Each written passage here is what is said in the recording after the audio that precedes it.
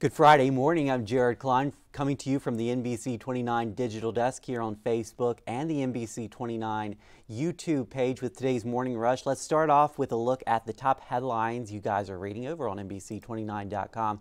Coming in at number one, Charlottesville Chinchilla Cafe does in fact have chinchillas. We'll get to that story in just a moment. At number two, a man found dead after a reported shooting. This is in Richmond. And at number three, Albemarle police arrest a man wanted in Charlottesville. All right, let's head to Charlottesville for our first story this morning. Police say the man responsible for a deadly February shooting in the city is now behind bars. 19 year old Ramaqua Antonio Nicholas, right here. He faces charges of second degree murder and use of a firearm in the commission of a felony. His arrest is in connection to the death of Nicholas Pendleton of Gordonsville. You may have remembered this case back in February of 2022. Chief Michael Kochis says this shooting and others recently in the city involve people who knew each other and were not strangers who happened to be at the wrong place at the wrong time. So this isn't random violence, but Kochis says he wants to help stop future gun crimes by getting guns off the street, and his solution for that is a gun buyback program. All right, same day voter registration made a big impact in Albemarle County this year, especially for people who moved and forgot to change their address. The county's registrar says Albemarle and Charlottesville saw some of the highest same day registration in Virginia. Director of Elections Lauren Eddy says most of this comes from college students.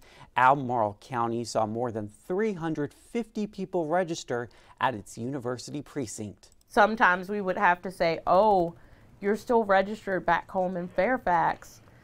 You're going to have to try to drive back home two hours today before the polls close. But with same day registration, they were able to register at their polling place and vote. Saving people a trip there. This process was able to happen due to a new Virginia law that is in place, and it will also apply to the primaries in June.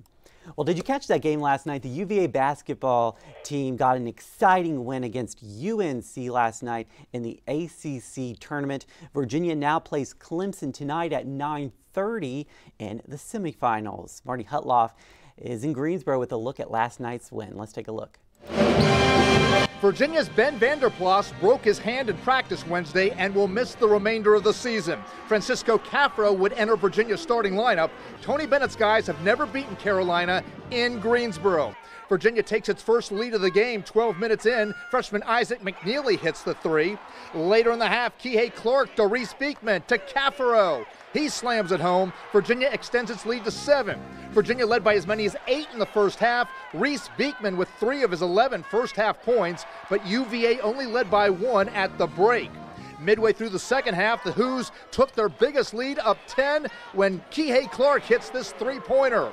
But North Carolina didn't go away. Here it's RJ Davis with the three pointer. He had a team high 24 points. Virginia's lead is cut to five. Armaan Franklin had 14 points for the Hoos, three of them here to put Virginia up seven. With just over two minutes left, Carolina cuts the deficit to three on this Davis bucket and draws the foul, but Carolina could never take the lead. About a minute to go, Virginia's Kadin Shedrick with the block at one end. Then he's running the court, and then Franklin finds him at this end for the slam dunk. Virginia beats North Carolina 68 to 59 in a hard-fought game without Ben Vander Plas. I think they responded well. I mean, this this is a, a close knit team, and, and, we talk about lifting each other up, and unity is one of our big pillars. And I really thought, um, you know, our there was one less guy in the front court, and I thought obviously these two guys sit up here. Jayden did the job, but I thought Kadin, you know, really gave us some rim protection, played hard, and Francisco did as well, and that that mattered. Unity, and you know, with the veteran leadership and just you know, coach challenging us that got to have that next man up mentality, and that's what we did. So, and you know, we didn't have a lot of time to prepare. Uh, we, we was able to get it done. Just being able to, you know, tuck it down on the defensive end, you know, get stops. That's where it all starts for us on the defensive end, and, and being able to, you know, stop them from driving, stop them from you know, make them make tough shots and things like that. on the offensive end, uh, wearing them down, making them move and chase us around the floor. This was Virginia's first ever win over North Carolina in the ACC tournament in Greensboro. Virginia now advances to play Clemson tonight at 9:30 in the tournament semifinals. In Greensboro, Marty Hudtloff, NBC 29 News. Thank you, Marty, for that report. What a game last night, and we wish the Hoos best of luck tonight as they take on Clemson.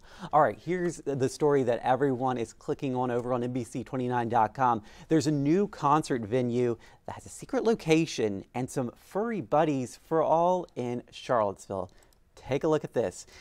Charlottesville musicians are invited to perform at the Chinchilla Cafe. There's two of them right there, so cute. It also hosts nonprofit community organizations to help further their causes. The cafe houses three chinchillas named Pip, Napoleon, and Star Baby. On a typical night, we have three bands play. Uh, in between sets, people can interact with the chinchillas. We don't serve anything here. We call ourselves Chinchilla Cafe, but this is a concert venue and community center. Now, again, this location is a secret and it's only disclosed through messaging the company via social media. Very adorable. All right. Well, don't forget this weekend is daylight saving time. I can't remember if it comes to an end or it begins. I believe it comes to an end, but either way, we're setting our clock forward one hour. That is happening Sunday at 2 a.m. Don't forget, you're going to be losing an hour of sleep. So Monday morning might be a little rough getting up without that extra hour of sleep. I guess Sunday morning, if you have events planned on Sunday morning, you might want to go to sleep an hour earlier. But as for today, we are expecting a wet, chilly day ahead. Let's send things over to meteorologist David Rogers with a look at what we can expect. Good morning, everybody. Happy Friday to you. Much colder conditions today. Keep in mind, we still have that winter weather advisory in effect for the Blue Ridge Mountains until about 2 o'clock this afternoon. Now, again, this will be mostly a cold rain event with some pockets of sleet, freezing rain, a few snowflakes.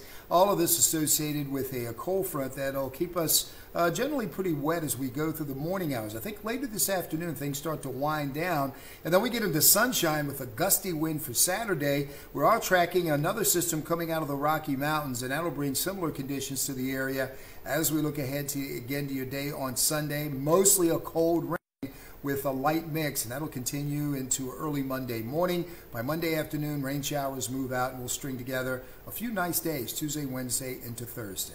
It's a quick look at your forecast for now. Have a great and safe weekend.